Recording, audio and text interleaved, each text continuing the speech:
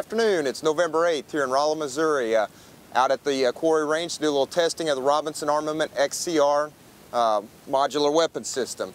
Uh, my name is Jeremy Martens. I'm a, a, uh, sergeant for the police department I work for. I've got 12 years of SWAT experience, 10 years as a patrol rifle instructor, and uh, we're here to see if we can get the XCR to choke up on sand, water, or mud today. Uh, through my time as a patrol officer, I've had the fortunate opportunity to carry a H&K 91, a uh, FAL, a uh, MP5, a Micro Galil, uh, several AR variants, and through them all, I think the Robinson Armament is the uh, best uh, combination of features, and we're here to put it to a test today. For the test today, we're using my patrol rifle. It's my personal XCR. Uh, had it since they first were issued. Uh, within the first six months, I was able to acquire one. Uh, it's got about 15,000 rounds to it. Uh, nothing special has been done to this gun. It's been cleaned and put into condition as if I was working the road today. Uh, for the purpose of the test, you'll see the flashlight's already been removed and I will remove my optic. Uh, no sense exposing it to the harsh conditions we are. We're here to test the gun and not the optic. the ammunition used today will be a M193 55 grain ammunition. Uh, gas setting will be on setting number four, Magpul P-Mags, and uh, we're ready to rock and roll. We'll do a sand test, a water submersion test, uh, we'll do a mud test, and then we'll uh, beat on the exposed gas tube with a hammer, uh, all in attempts to uh, see if we can get this thing to fail. Come along for the ride today.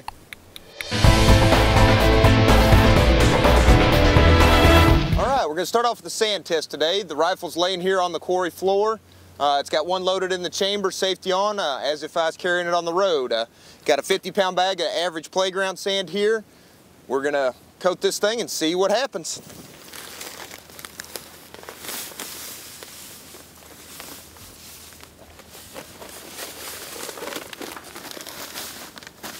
Right, as you can see, uh, the gun's been covered. Uh, no sense pouring sand down the muzzle.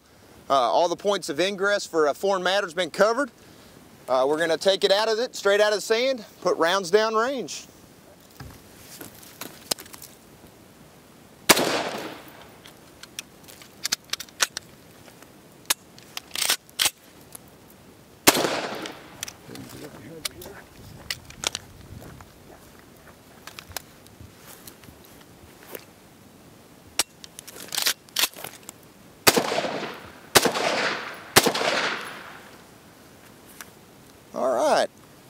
On the first two shots, the receiver popped open. I don't know if that was operator error on my part for not getting it uh, closed accurately when I uh, switched out lower receivers to the Magpul stocked one or what. I uh, didn't do it on subsequent shots, so we're going to duplicate the sand test another time and see what happens.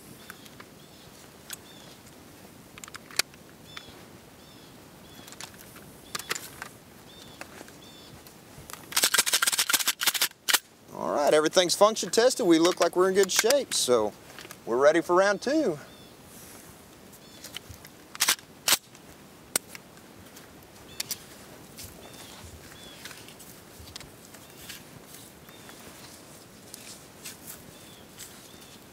All right, she's covered again. This time I picked up some rocks off the quarry floor, so let's see what happens on round two.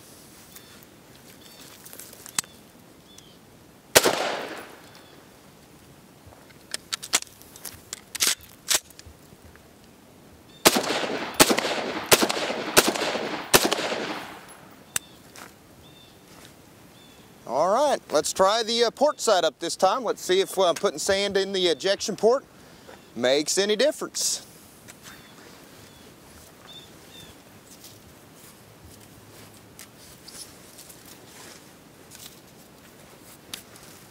All right, she's buried again. Port side this time. Let's see if the lack of an ejection chamber makes a difference.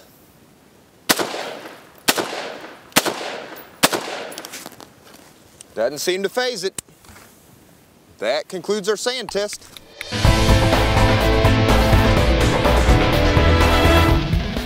All right, we're taking it straight from the sand test to the water submersion test. Don't want anybody to think we've uh, cleaned the weapon or staged it in any way.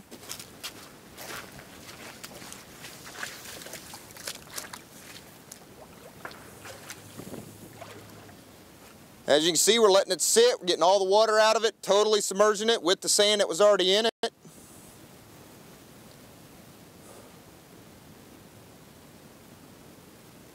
right, that's it on the bubbles. Let's see what she does.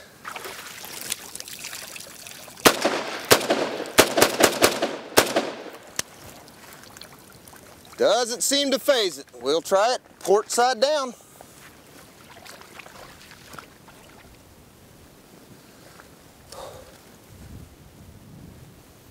Once again, letting all the air out of it. We're gonna go straight from the water, straight to shooting.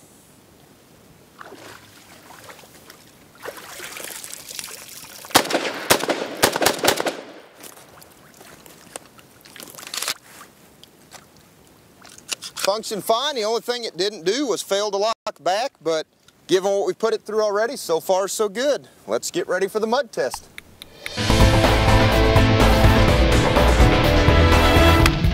See the mud we got here? It's a little thicker than a milkshake. Chunks of uh, leaves and sticks and whatever else can fit in there, so uh, should be a pretty good test. As you can see, the gun's still wet inside and out from the water test.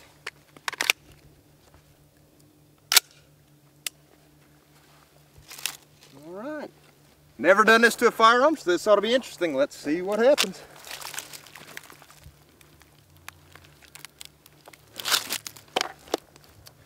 As you can see, we're trying to cover all the points of egress or ingress for a foreign matter. The exposed gas tube has been covered. Uh, the ejection port's been covered. We're ready to go.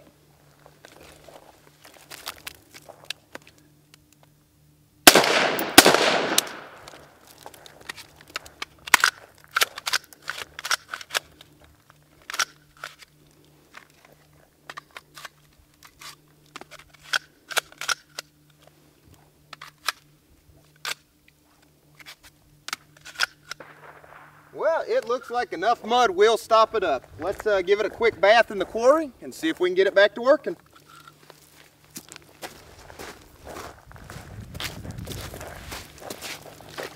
In the field, you may not have time for a formal cleaning, so uh, use what you got available and see what happens.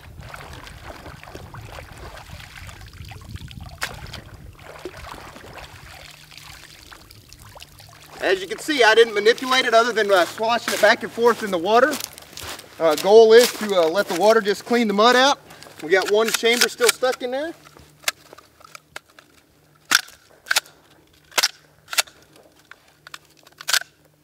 We have a clean chamber. Get a little bit of the mud off the magazine. Let's see what happens.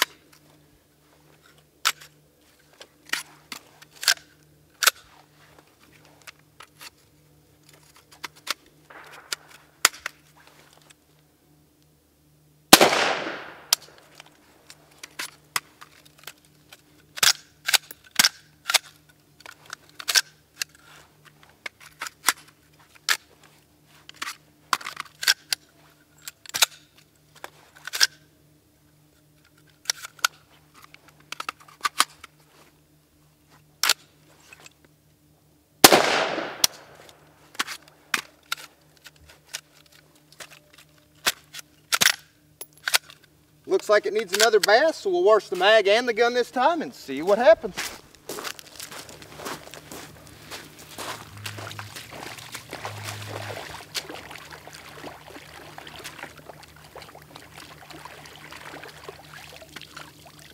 Magazine and rifle both clean, both coming straight out of the water. He is dirty, the bolt is definitely working slow.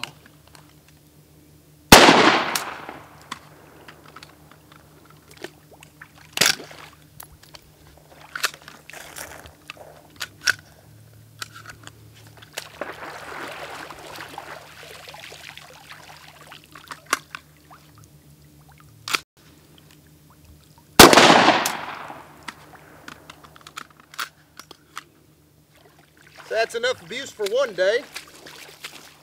She's dirty, but she uh, still would function. Outward appearance, no damage to the gun. We'll field strip it here, get it cleaned up, and uh, get back to the hammer test. Thanks laying along.